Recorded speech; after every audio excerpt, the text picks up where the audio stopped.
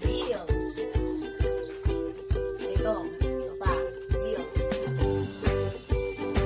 At mga ka-rider, huwag kakalimutan ang pinaka-importante pag nag-ride. Ang ang At huwag kakalimutan maglagay ng accessories tulad ng flashlight.